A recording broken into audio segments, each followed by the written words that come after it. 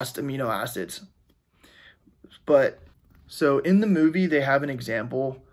Uh, they take a peanut butter sandwich and they take three ounces of steak uh, or three eggs and they say they're roughly about the same protein content. However, the amino acid profiles are vastly different. And that's my first point. And secondly, a peanut butter sandwich, which is what they say in the video, usually yields you about four to 500 calories if you're using about two tablespoons of peanut butter. And three ounces of steak is only three ounces of ribeye, which is a super fatty steak, will give you about 185 calories.